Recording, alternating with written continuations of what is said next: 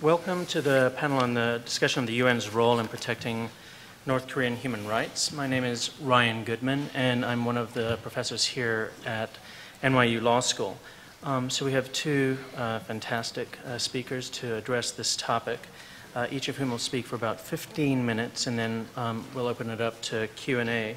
Uh, David Hawk uh, will speak first. David is known to many, if not all of you, as senior advisor of the Committee on the Human Rights in North Korea and a visiting scholar at Columbia University's Institute for the Study of Human Rights. He was the executive director of the United States section of Amnesty International, uh, board of directors of Amnesty International USA, and a founding member of the board of directors of Human Rights Watch Asia.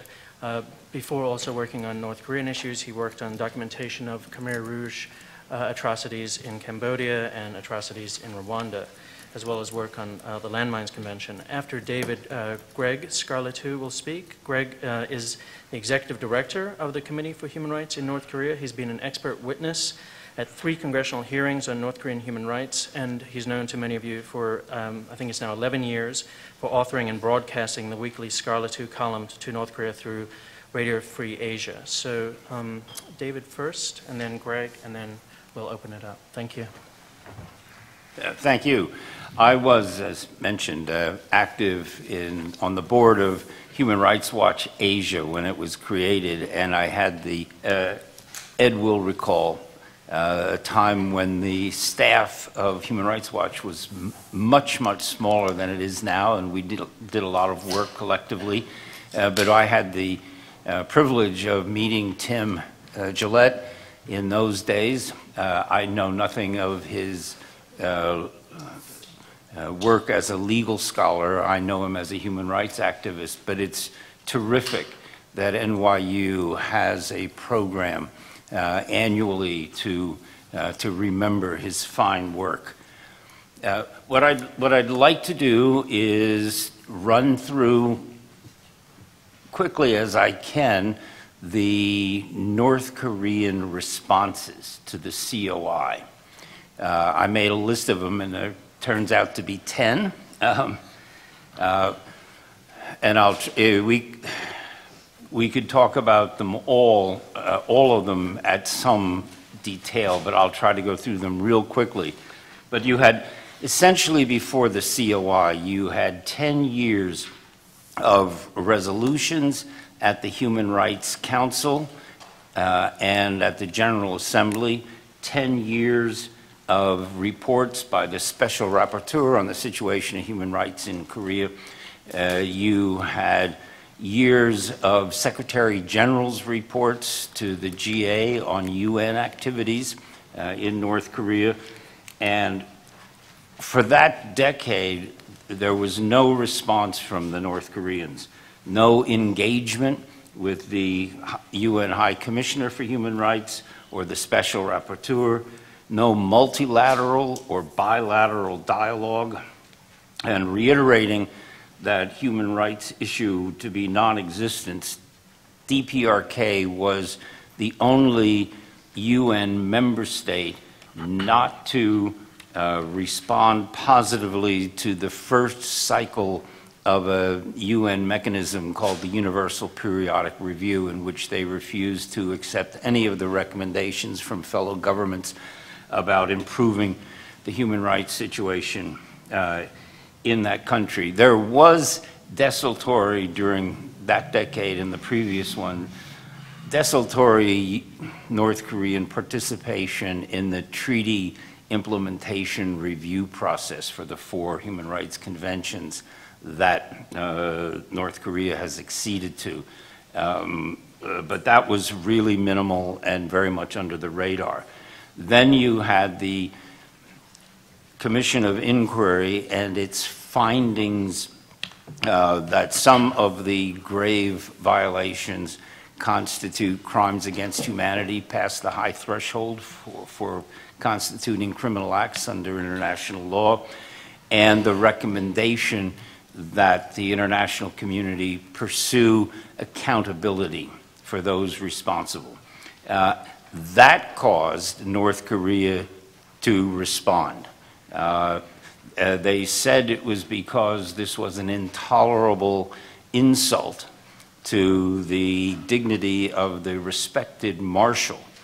Uh, the idea that the UN General Assembly might refer it to the Security Council, which in turn might refer North Korea to the International Criminal Court.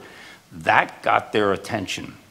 And they responded in a variety of ways, the, uh, and the response is, is still very much ongoing. Uh, I'll enumerate their responses and some of the problems uh, and issues that may arise going forward. The first thing they did was put out an absolutely dreadful 100 page report by, an, by something called the Association for Human Rights Studies, uh, which you can find it online. Uh, and it is 100 pages of the kind of propaganda uh, that Miss Lee related being taught to North Koreans in grade school um, but now put out uh, and pr- presented at a special session to the uh, international community at the UN. They, uh, and this is their description of how the human rights problems in North Korea, which are non existent, uh, but it's the hostile intent of uh, the United States imperialists that make it hard to improve the uh, human rights situation in North Korea, and it goes on like that for 100 pages. It's uh, unfortunately worth reviewing because it is, in fact, what uh, the party officials and the security officials uh, believe, and they have more clout than the foreign ministry diplomats that you can meet in the corridors of the, the UN. The then they initiated a, a multifaceted diplomatic counteroffensive. They revised their approach to the Universal Periodic Review. As I said, during the first cycle, uh, governments provide a report uh, orally and in writing to the Human Rights Council, and then all of the other government uh, listen to this and make recommendations. And at the, the next session of the Human Rights Council, the government who's being reviewed uh, is supposed to come back and announce which of the recommendations made by the fellow governments around the world uh, have been accepted. North Korea the, in, during the first cycle in 2009, early 2010, refused to accept any recommendations. After the COI report, three years late, uh, they responded to the first cycle and broke up those 180 odd recommendations into categories that they rejected, uh, recommendations they rejected as being slanderous. Uh, recommendations they rejected after consideration, uh, recommendations that they noted, rec- and recommendations uh, that they partially accepted, and recommendations that they accepted. Now, in theory, the recommendations that, uh, that have been accepted or partially accepted is what you could talk to them about if there was ever uh, uh, a human rights uh, dialogue. And then in the second cycle of the Universal Periodic Review, they rejected, there were some 280 uh, odd um, recommendations made by other governments. Uh, and they rejected 67 out of hand as being slanderous. 10 they rejected after consideration, uh, four they partially accepted, 58 they took note of, and 113 recommendations for improving human rights that they accepted. Now, if you ever do get to a stage of dialogue or cooperation, that's uh, the, this listing, which is, uh, you can also get that online uh, is, is the basis for ongoing discussions. They, they had, as I mentioned, a public meeting at the UN to release the, the dreadful propagandistic report of the Human Rights Study Association. They sent a very high-level delegation to Brussels to renew the offer of dialogue with the EU, which was, they had had two sessions, uh, 2001, 2002, just getting started, and the North Koreans ended their dialogue with the EU uh, when the EU introduced the first resolution at the Human Rights Commission in uh, 2003. They, they made a presentation to the Council on Foreign Relations Committee when in which another high, very high-ranking official uh, defended their human rights uh, record and policy. They publicly attended and what they call in the UN an interactive dialogue uh, that was being held at what they called a side event by Justice Kirby uh, several weeks ago. And the, uh, I think, eight or nine North Korean diplomats attended the session with Kirby and challenged his findings, and he challenged them uh, right back, uh, particularly uh, uh, on their assertion that the people who testified to the Commission of Inquiry were uh, human scum. Kirby twice challenged them to reject that categorization of the persons who had the former North Koreans who had testified to the COI. They had, for the first time, two meetings with the special rapporteur, uh, uh, who was here in New York to make a presentation to the third committee of the General Assembly. They had previously refused uh, to meet at all with uh, Special Rapporteur Darusman or his predecessor, a Thai law professor by the name of Vitit Muntarbhorn. But they, the North Koreans twice asked to meet with uh, the current Special Rapporteur uh, Darusman and dangled the offer of a visit to Pyongyang if the accountability provision of the General Assembly resolution uh, uh, that talks about a referral to the ICC was dropped. Now, uh, it doesn't work to put a special rapporteur in the position of being a negotiator between a country, between member states. That's only for the member states to do for themselves. So Darusman has no authority to, to make that kind of a deal. Uh, but at any event, the North Koreans were dangling the uh, the possibility of a visit to Pyongyang in exchange for the EU and Japan dropping their, uh, the, the accountability provision in the resolution that is currently uh, before the General Assembly. The next thing they did uh, late last week uh, was to ratify one of the optional protocols to the Convention of the Rights of the Child, which, is, which had actually been one of the recommendations made during the second cycle of the Universal Periodic Review. It was one they were considering, and they went ahead and did it in order to uh, demonstrate their newfound cooperation with the UN in the area of human rights. They also uh, have dangled the possibility of a technical cooperation project with the Office of the High Commissioner for Human Rights. Technical cooperation is the term uh, that's used in UN circles for a uh, a UN office uh, that would do the kinds of stuff that Peace Corps volunteers done, or train judiciaries, uh, train judges and lawyers. Uh, uh, the, the UN has an, a number of these kinds of technical cooperation offices.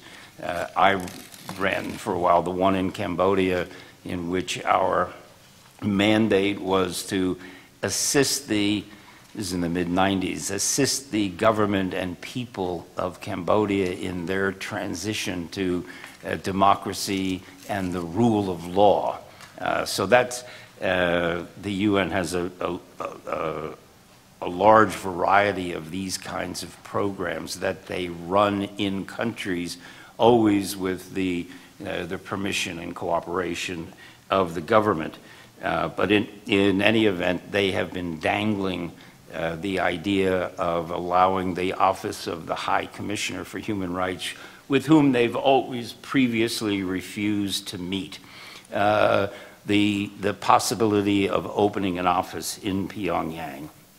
Uh, and they circulated um, at the UN uh, in the form of a letter from the permanent representative of DPRK to the UN, uh, a letter to all other missions to the UN uh, uh, attaching what they were going to propose as a counter resolution to the resolution that's submitted and currently under consideration, sponsored by primarily by the EU and Japan, but having 50 other sponsors. They were told that uh, uh, you cannot have two country-specific resolutions. Uh, so the EU beat them in submitting their resolution. Uh, so the uh, the uh, the North Koreans had to promptly drop that approach. They undertook a defamatory media campaign against one of the primary and most well-known uh, Koreans who testified to the COI, Shin Dong-hyuk, the subject of a, of a wonderful biography called Escape from Camp 14. They pulled his father out of the camp, put him on TV uh, in Korea, and you can get this on YouTube, saying that the testimony of Shin Dong-hyuk was a lie and that he was never in a prison camp. And they produced uh, a, a, young woman who they put on TV who accused Shin Dong-hyuk of uh, sexual assault. Uh, so uh, that was one of their uh, other, one of their nasty responses. And then lastly, they hinted at, oh, sorry, they, they closed one section of one of the camps that we've been able to, to confirm with former prisoners. The, the Sorim Chan section of the re-education section of Camp 15. Uh, the singles dormitories seem to have been uh, demolished and the fences taken down.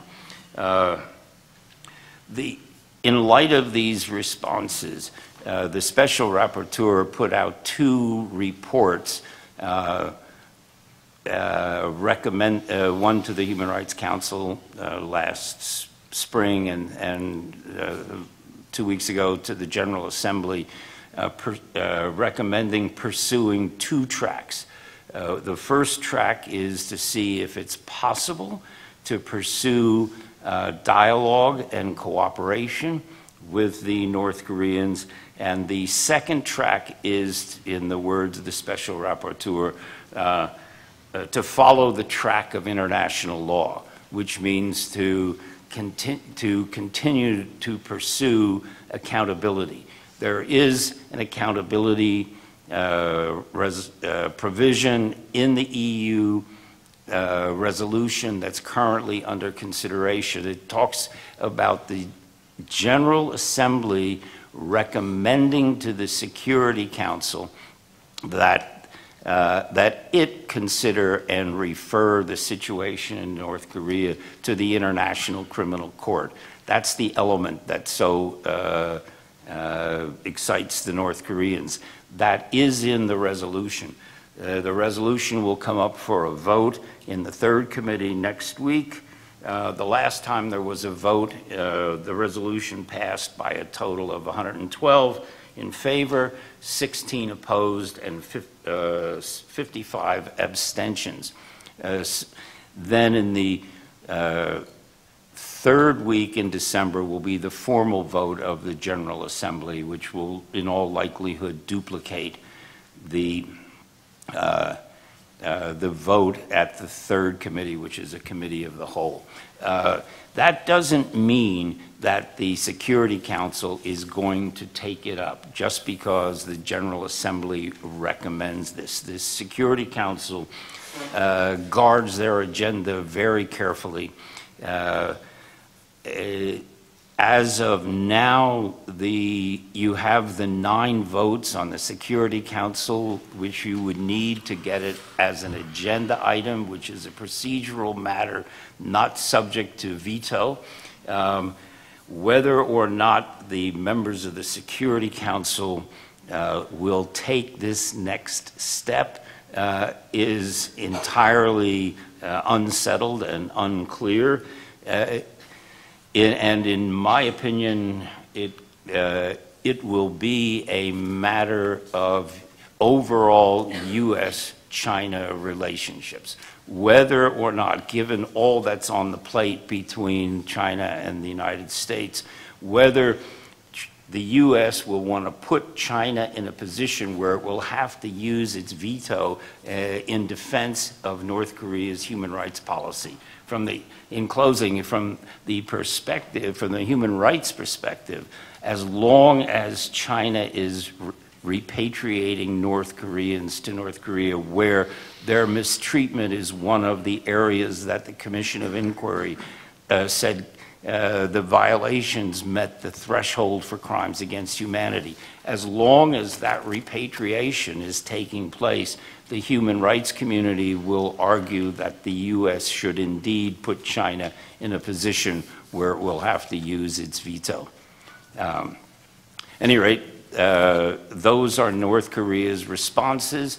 It's, hap it's happening as we meet. Uh, uh, there, there may be attempts to uh, introduce uh, amendments to the EU-Japan resolution, uh, in which case the General Assembly debate and vote will be even more exciting. But at any rate, that's taking place as we uh, sit here today.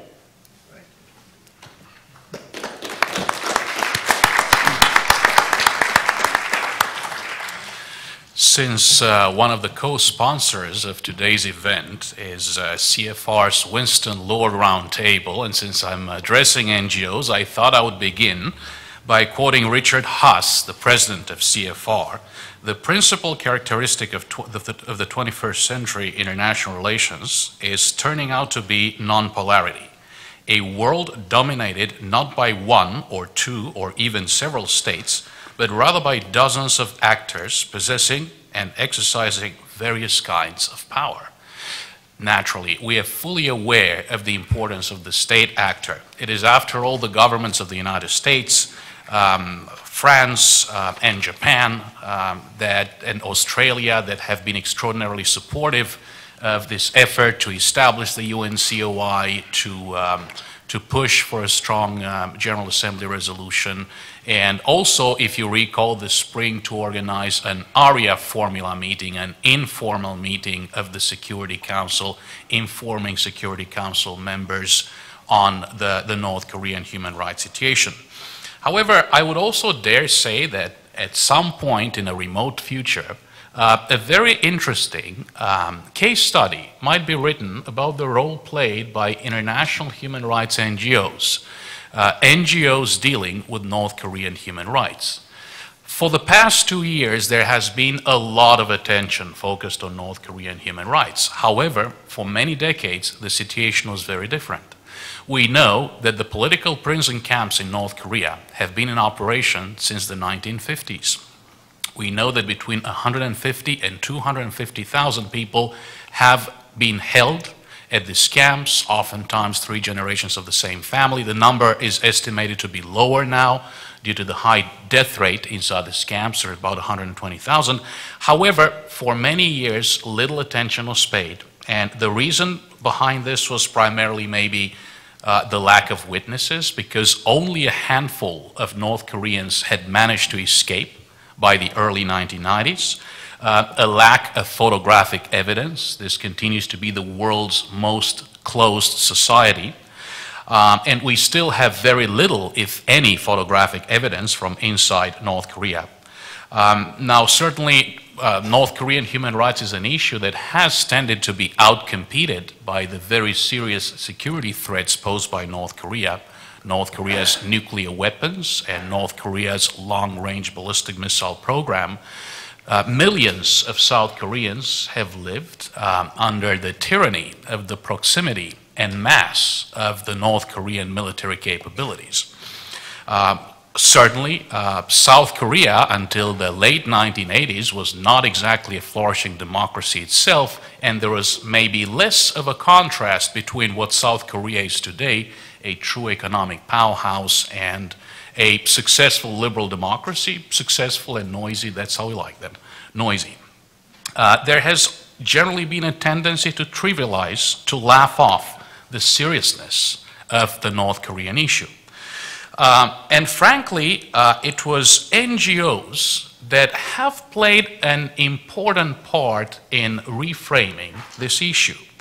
Um, the Great Famine of the mid to late 1990s was a true game changer. As you all know, between 600,000 and 2 million people died in that famine. What also happened was that uh, North Korean escapees, such as Lee Hyun-so, who gave us a very eloquent um, and informative presentation today, managed to get out of North Korea. The current number of North Koreans resettled in South Korea is 27,000. So higher numbers of refugees also meant more witnesses. Now, NGOs were involved in rescuing refugees, resettling refugees, focusing attention on the plight of refugees, and then interviewing these refugees as witnesses. And our own senior advisor, David Hawk, has produced uh, three uh, major reports on the North Korean hidden gulag, on North Korea's political prison camp system, relying on interviewing some of these North Korean escapees and also relying on newly available technology, publicly available now, satellite imagery. Um, we were the first organization to do this in the first Hidden Gulag report, combining satellite imagery and witness uh, testimony to focus attention on the plight of those imprisoned inside uh, North Korea's political prison camps. So this is, uh, this is uh, the, the atmosphere surrounding the birth of our organization, at least HRNK, a uh, group of very senior former government officials, scholars, private um, sector representatives, thought leaders, um, some of whom have spoken on panels today and uh, have been in the audience today, decided that there was a gap in the knowledge available on the North Korean human rights situation. And our organization performed the role of producing a series of publications to inform not only advocacy organizations dealing with North Korean human rights, but also the uh, international public opinion in general. Um, we, um, we have, for example, produced uh, reports co-authored by, co-authored by Václav Havel and the, the former uh, Norwegian Prime Minister, uh, Kjell Magne Bondevik. Um, and the, the end result of this was that from a situation in the 1990s, in, in the 1990s there was one major NGO that did not believe the accounts of Kang Chol-hwan, the hero of the aquariums of Pyongyang, and other political prison camp survivors. Of course, there was a history in South Korea, and it was somehow assumed that their testimony had been tainted by intelligence debriefings in South Korea. Now, the situation is radically different today. And it was through the efforts of young people such as Lee Hyun-so or Shin Dong-hyuk and the, the book about his life by Blaine Harden, Escape from Camp 14. It was through the efforts of activists such as Kang Chol-hwan himself, a survivor of the political prison camps, that more attention was focused on these issues. A little bit over two years ago, something very interesting happened. A, an NGO coalition came together the uh, International Coalition to Stop Crimes Against Humanity in North Korea. Our organization also became a member of ICNK, of this coalition. Very interestingly, the initial goal of ICNK was to secure the release of the wife and two daughters of Oh Kil-lam, a South Korean economist who happened to be a communist sympathizer studying in Germany ended up being uh, tempted and lured by North Korean agents, went to North Korea. Um, he had been promised a professorial job that never happened. Instead, he was sent out of North Korea again to recruit more South Koreans. His wife and daughters told him not to come back ever again. Um, he had information about them in the 1990s. They were being held at Yodok political prison camp. But anyway, this coalition came together to try and bring the wife and daughters of Oki Lam out of North Korea. This didn't happen. The only thing that the coalition got was a letter from the North Korean government stating that the wife had passed away and the two daughters didn't want to meet with the father. However, the next step in the activity of this organization was to recall that organizations again, we'll have to claim credit for this. HRNK was the first organization to propose the establishment of a UN Commission of Inquiry in 2006. So the next step in the life and history of ICNK was that the organization began pushing for the establishment of a UN Commission of Inquiry. No single organization can claim credit for this effort. However, it was certainly an effort led by multiple NGOs based here in the, United, in, in the United States, based in South Korea, based in Europe, and elsewhere in the world. Early uh, last year, something else happens, and our co-chair, Roberta Cohen, is well familiar with the story. There had been no um, major statement by a UN High Commissioner on Human Rights on North Korea. And early last year, the former High Commissioner, Madam Navi Pillay, for the first time ever made such a strong statement that eventually opened the door for the establishment of the Commission of Inquiry. Why did this happen? Why had the UN High Commissioner not been really active? The argument had been that there was no evidence, there were no witnesses. But NGOs, possibly including HRNK, approached Mrs. Pillay and others at the UN and reminded them that there are witnesses, 27,000 of them in North Korea, including Shin Dong-hyuk, Kang Chol-hwan, Kim Yong-sun, and all of the others. So she met with them, she was persuaded, and this initiated the process that led to the establishment of the UN Commission of Inquiry in March of uh, last year by a consensus, by consensus, by all 47 members of uh, the UN Human Rights Council. Um, that was, as um, some of the speakers have mentioned today, and as you all know, this was followed this spring by a uh, strong resolution of the UN Human Rights Council. Right now, um, um there is a draft General Assembly resolution on North Korea that will hopefully include strong language on um, the issue of crimes against humanity that may have been committed in North Korea, and also on the issue of accountability. What the UNCOI has done, and let's admit it, with the assistance of NGOs that have provided the information, the research, the reports, the advocacy, HRNK is quoted 20 times in the UN uh, COI report, of course, including uh, David's uh, uh, reports on the hidden gulag. Um, what the COI did with the assistance of international NGOs uh, was to reframe the issue of North Korean human rights. This had somehow been perceived as a remnant of the Cold War, as a strange relic. Uh, the UNCOI, what the UNCOI did was to reframe this perception and clearly state that crimes against humanity have, may have been and are probably still being committed in North Korea today.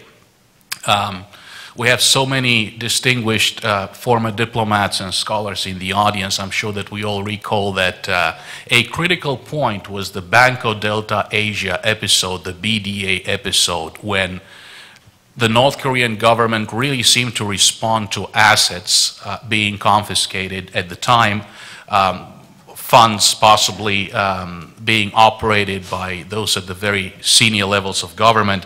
I think that we, we see a very strong reaction in this particular case as well. It seems that this UN General Assembly resolution, the UN COI report, they really matter to the North Korean government, and the North Korean government is actually beginning to pay attention. I hate to say it, Their approach to human rights was brilliant, to play devil's advocate, brilliant for many years. They simply didn't react. They simply ignored, as David said, uh, resolutions issued by the UN Human Rights Council since 2003, by the General Assembly since 2005, by the UN Special Rapporteur on North Korean human rights, by our own State Department here, by international NGOs. That has certainly changed.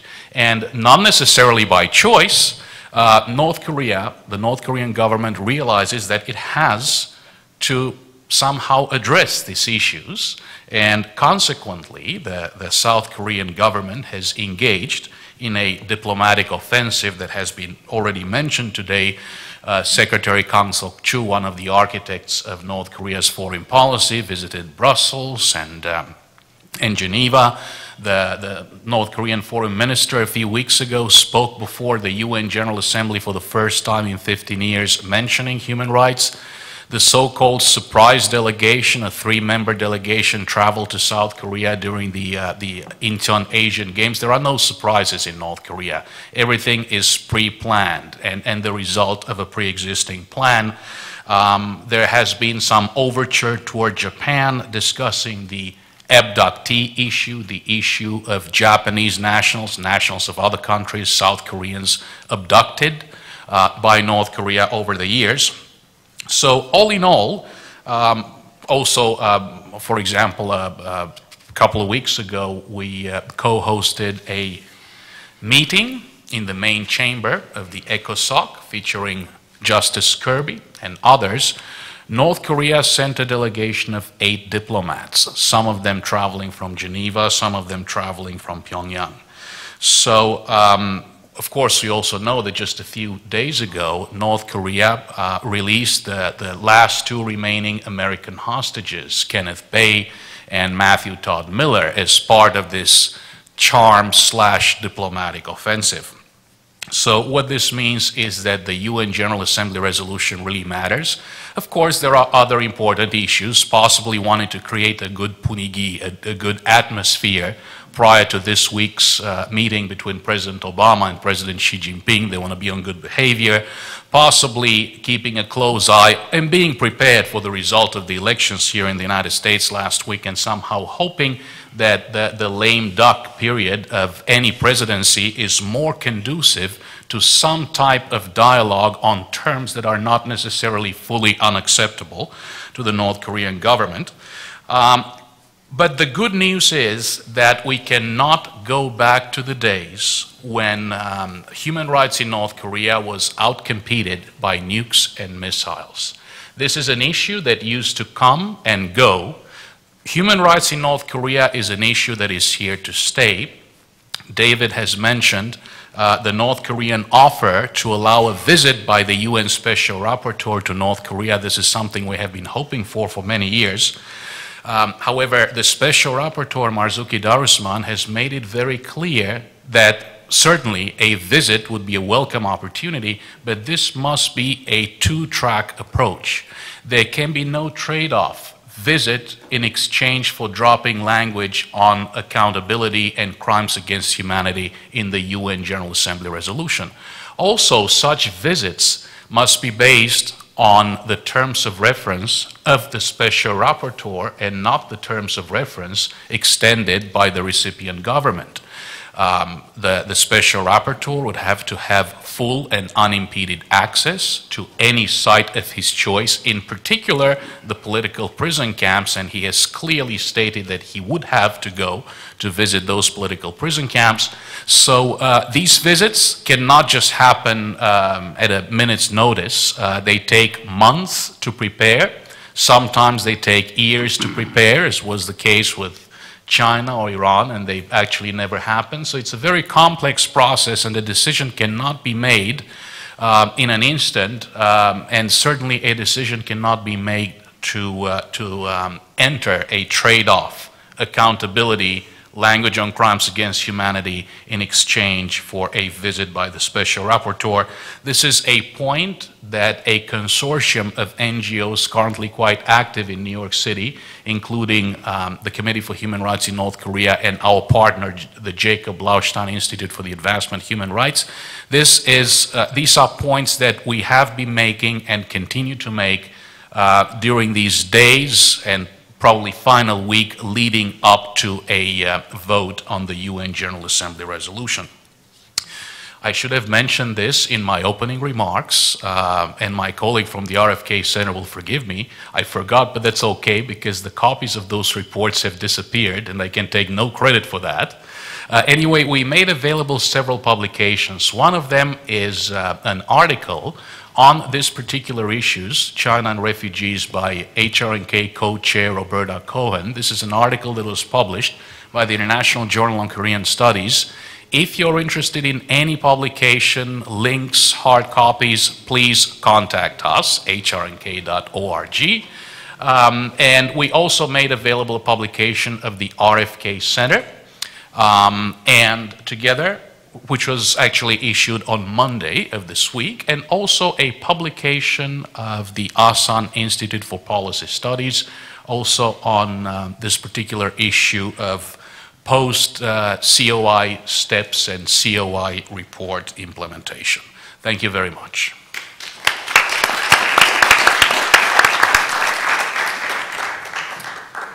Uh, thanks so much. Uh, so I thought I'd open up the question and answer period.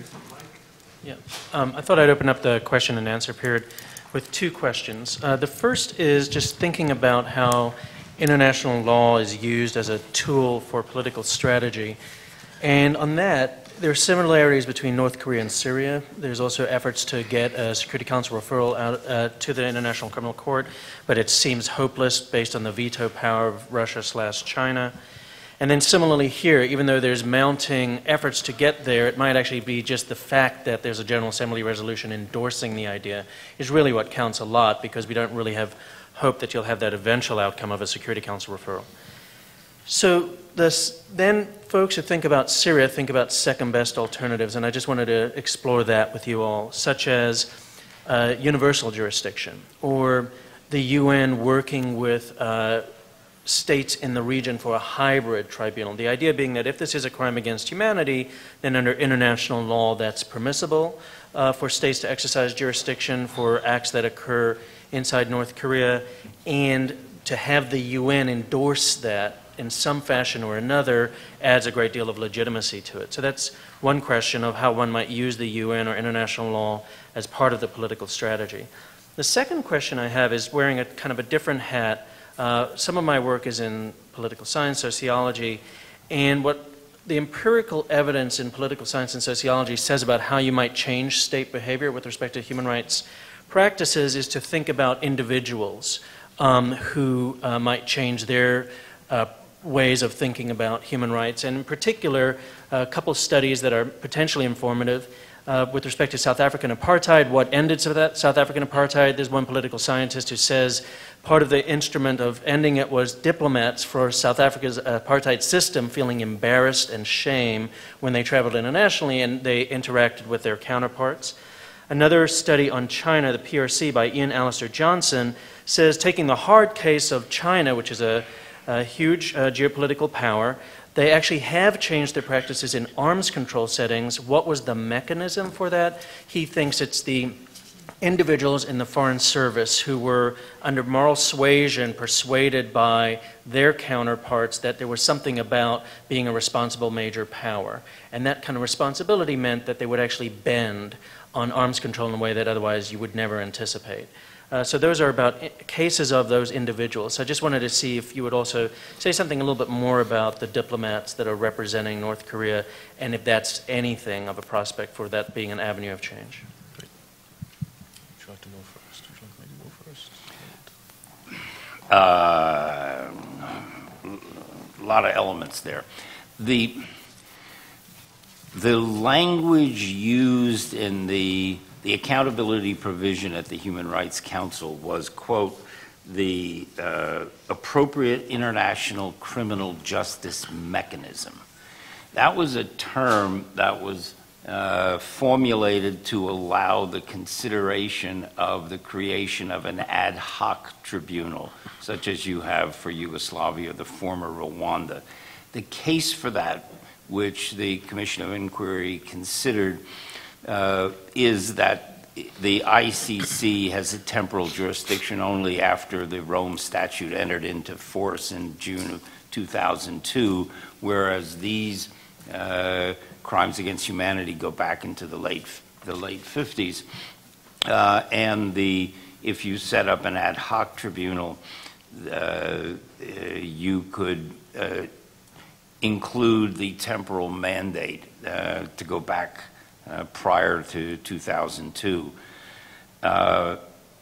the uh, but the, the response among the member states, particularly the small EU states, uh, was that uh, that actually the reason the ICC was set up was so that you didn't have to have additional ad hoc tribunals, um, and that it's un, it's unlikely that the the UN would go to the time and trouble of expense of setting up an ad hoc tribunal, uh, appointing the judges and the prosecutors and the investigators uh, for a matter in which should the panel of judges uh, okay the request for an indictment coming from the prosecutor, the indictment couldn't be served anyway.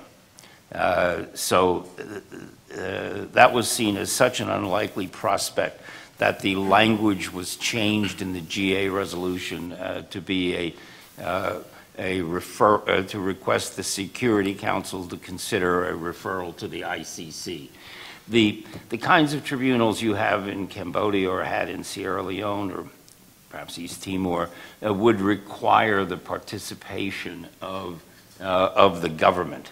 Uh, and that's certainly not likely to happen uh, uh, in the immediate future. In the event of re, of eventual reunification, if the regime collapses, you, you, there will be in the successor state the issue of what to do about the uh, officials who, who ran these violations and how should they be held accountable. But that would be something for the far distant future. Sorry, I meant by hybrid. The theory for Syria is that you could actually set up a regional body, not inside Syria, no hope of that, but by neighboring states with an imprimatur from the UN. Um, that kind of hybridity, but not, not by any stretch that North Korea would set up something in conjunction with the UN, but um, South Korea might.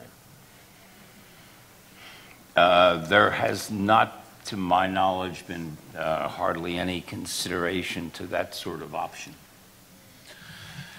I think that one of the challenges would be, uh, as the South Korean president, President Park Geun-hye, has pointed out um, on numerous occasions, while the degree of economic integration in, uh, in the region is quite high, the, the degree of political integration is extraordinarily low.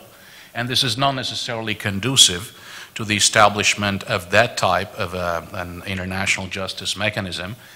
The challenge, uh, should it be established, would be the same, basically whether one is talking about the ICC, a hybrid tribunal, a special tribunal, basically um, absent some dramatic political change in North Korea, any um, international justice mechanism would have jurisdiction to prescribe, jurisdiction to adjudicate, but certainly not jurisdiction to enforce of course, th this might create an issue for some senior uh, government officials who might no longer be able to visit their children who are studying in Europe or elsewhere in the world. It would certainly make it more difficult to travel internationally, but uh, that, that challenge, challenge, I think, will continue to persist. Um, your, your, question about North Korean diplomats. Uh, North Koreans have had um, the same diplomats uh, doing the, the same job for many years. They're, they're very good at what they do. Uh, within that world of North Korea, they execute their objectives. Um, I am not sure that, and Ambassador Gregg might disagree, I'm not sure that the foreign ministry is the most, most powerful or influential um, agency within the North Korean government. It is not. So I'm not sure to what extent they can actually exercise an influence. Do they understand what's going on? I'm 100% sure that the overwhelming majority of those North Korean diplomats understand what's going on. In many cases, their families are held captive, wives, children. Uh, the best they can do, and some of them, a handful of North Korean diplomats have taken this step, the best they can do is to defect to the free world and, uh, and uh, tell their stories. Many of them have done that, and many of them have become uh, important uh, sources of information for organizations um, conducting research on North Korea.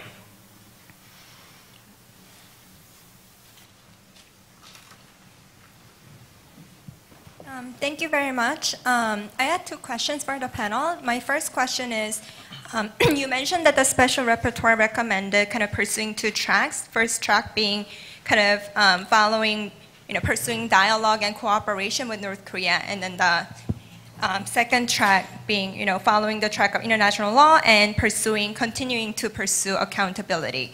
I'm kind of wondering what kind of concrete actions, or like concrete track two approaches, um, could the U.S. take given the current stalemate in the government-to-government uh, relations? Do you see any role in like educational exchanges or legal exchanges um, given the current situation? And my quick second question is um, regarding your remark about NGO coalition. I'm wondering to what extent there is or any cooperation or um, coordination between South Korean NGOs on North Korean human rights and um, the Committee for um, Human Rights in North Korea. Do you see any um, necessary, do you think there should be more cooperation or?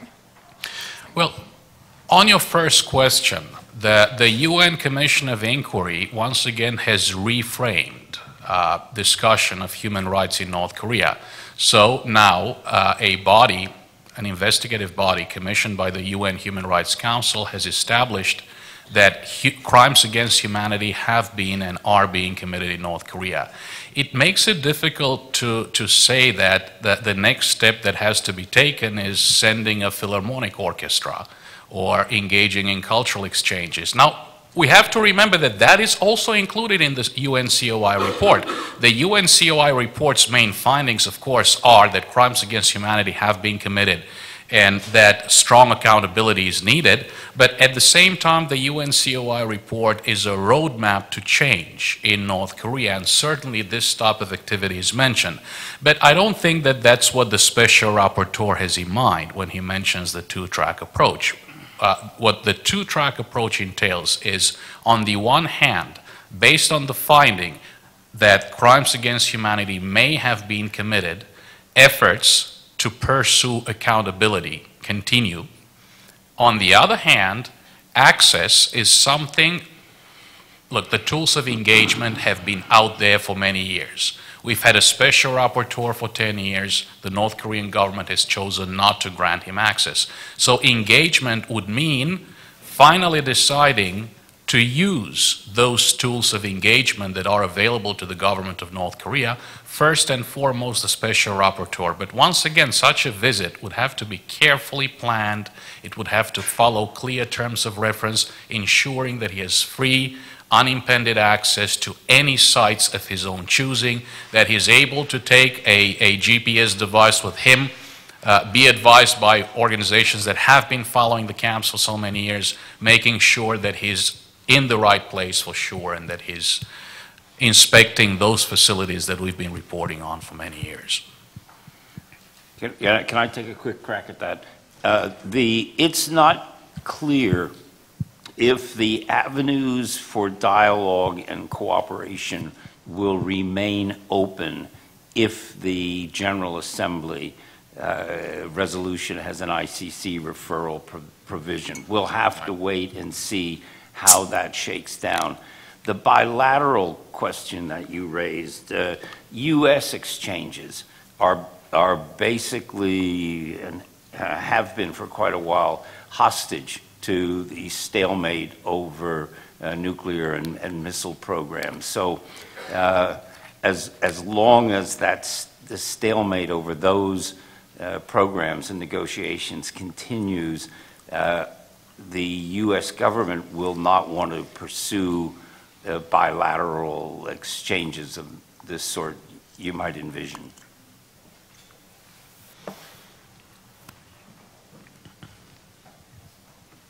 Uh, thank you. I'm just curious. Um, you said uh, someone on the panel said uh, that the UNCOI was led principally uh, by EU and Japan. I'm just wondering, uh, or somebody else. Yeah, yeah. So I'm just curious. Uh, what's I'm just curious about some of these countries that that could be considered to be friendly at North Korea, or or they're neutral. Let's say, I say Sweden or the Swiss or the Cubans. I'm just curious if they were to if they were to spearhead such a study, would that, you know, would that kind of study be, be considered to be, to be, uh, you know, to be more acceptable in the eyes of, of North Korea since, you know, since, since those countries are, are considered to be friendly or to be neutral? The answer is no. Uh, and EU, the, the, EU and Japan were actually sponsors of the UN Security Council resolution that established the UNCOI. The answer is no. There are numerous other former allies, staunch allies of North Korea that are no longer communist states, are no longer communist dictatorships, and are now EU members fully endorsing these resolutions and efforts to address North Korean human rights. I'll mention just a few. Romania, best buddies during the Cold War. Hungary, Bulgaria, the Czech Republic, Slovakia, and the list goes on. North Korea used to have close to significant support within the, the non-aligned nations, much of that support has disappeared for two basic reasons. One of them, the North Korean human rights violations are so egregious, after all, they amount to crimes against humanity, that uh, being too closely associated with North Korea extracts a high political cost. On the other hand, many of these members of the non-aligned movement have gone through a democratization process of their own. They're no longer those developing world dictatorships that once used to be allies, natural allies of North Korea, because they are not too far apart as brotherly dictatorships. So if Cuba were to cross the lines and join the Romanias and Hungaries of the world, I'm absolutely sure that they would be labeled as enemies of the People's Republic. Front row. In the front row, thanks. Actually, my question is, um, first of all, is from the factual thing. On the day that November 8th, that they, the news release that Kenneth Bae and also Miller was released. We all welcomed that. But the, at the same time, on, on the same day, the, we saw that disbanding, the satellite picture of the disbanding of the Yodok, which is Camp 15 in North Korea picture has been released as well. So I just wondering, first of all, is that true? And if it's true, then definitely it's the eradication of the, uh, the evidence of the abuse because North Korean government is still effective control over the land and the people. So uh, what is your response and what is the next that we can do? Well, regarding these reports on Yodok having ceased to function as a political prison camp, we have seen this before, and I'll turn this over to David Hawk we, we cannot be absolutely sure that that is the case. These reports refer to Sorimcheon, which is one part of Yodok. They don't refer to the entire camp. Plus, uh, the North Koreans are masters of concealment, camouflage, and dissimulation. Satellite imagery tells a very important part of the story. That is not the entire story. And the way that David has compiled his reports has been to put together satellite imagery, defector testimony, sometimes testimony from former North Koreans with sources still inside North Korea. So I'm not saying that that is certainly not true. It might be true, but we certainly need much more satellite imagery analysis, and uh, we need to interview um, North Korean escapees and um, others who might have uh, knowledge of Yodok. What worries me is that we've had reports that um, prisoners have been taken away at night We had similar reports um, on Camp 22 in Hoeryong, North Hamgyong province, which was shut down a few years ago. Uh, David's research indicates that up to 8,000 um, appeared, uh, appeared to be gone. Basically, they, they simply vanished in the process.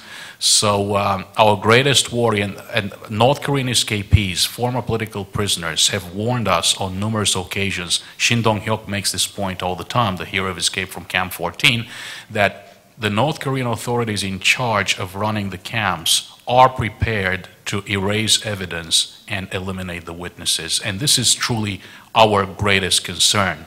Is the North Korean government trying to sanitize, so to say, some of these facilities, Camp 22, Yodok Camp 15, in preparation for a visit by, uh, by UN officials, by the UN Special Rapporteur, preparing to claim that uh, all of these reports issued by international human rights organi organizations are nonsense. All, all along, this have been nothing but picturesque villages up in the mountains of North Korea I think we have time for one last question. Hi, I'm Yujie Chen, um, JSD student from NYU and also a research scholar working at the U.S. Asia Law Institute. Um, I think much have been discussed about accountability uh, and sanction and I think that's extremely important. But I would also like to raise uh, a question about engagement um, of North Korean people. I think this is a sort of a follow-up uh, to Jean's question about educational exchange. Um, and in your impressive report that you also mentioned that the U.S. should support people-to-people uh, interactions. And I wonder what can be done in that aspect, especially uh, given the, how close uh, North Korea is, and what's UN's role in, in that educational uh, and um, exchange. And I understand socialization of diplomats, as uh, Professor Goodman mentioned, is very important. But I also wonder social, uh, socialization of individuals, of ordinary people. Certainly educational exchanges uh, have been undertaken in North Korea. The, the big problem has been um, lack of control over the point of access and the point of exit. It is very difficult to determine who enters these programs. It is very difficult to determine where they go once they graduate from these programs. For example, if you're running a learning institution, um, having foreign teachers teaching English in North Korea. This is an, an ongoing operation, for example. Um, so questions have been asked about the, the lack of control over who enters these institutions and what they do after graduation. Of course, the hope here, the hope here is that they would become positive agents of change. After all, exposure to the outside world, exposure to the United States, exposure to this type of knowledge uh, is possibly likely to be conducive to positive change. The question that has always been asked is, are these those North Koreans who are most likely to change the regime, or because in particular of lack of access to the process that selects them and gives them jobs after graduation, are these some of the North Koreans who are most likely to maintain the current regime in power? So while exchanges, educational exchanges, exposure, at least over the medium to long run, over the long run, would be positive, there are a series of questions that also have to be asked in the process. This is a terrific panel. I'm grateful to the speakers and the moderator. We are a law school, and the question that perhaps we have no time to consider it now, but we shouldn't lose sight of it, is what does this chapter tell us about international law and its efficacy? Why is the North Korean government suddenly so concerned, as it obviously is in a very distinctive way? Uh, is it the charge of crimes against humanity and the evidence compiled by the report? Uh, is it a fear of a General Assembly discussion that would go beyond past discussions. a fear of Security Council discussion. Uh, until today, I began to think certainly they don't have to fear an actual ICC uh, trial or accusation, at least. Now I'm not so sure because if they have to depend on the Chinese veto, China may respond to some of the pressures China has been feeling in other respects. They're going to, it's a, not a open and shut question for China. They're likely to veto it, but it's not open and shut. The head of the ICC, of course, is a distinguished South Korean, Song Sang-hyun, who's been a visiting global professor at NYU Law School and is a dear friend. I don't know which way that would cut or even what it would mean for his own participation. Maybe the North Koreans are inadvertently doing a lot to boost the ICC's uh-huh. prestige. Until now, the ICC has been under attack for being exclusively African and not of broad jurisdiction. Does this show maybe there's some real punch to the ICC that we haven't anticipated? This is a whole range of questions that maybe our colleagues here at NYU Law School and International Law should continue to discuss. And this wonderful discussion makes a nice transition to our next topic, which is what do we do about it? So I want to congratulate you and thank you.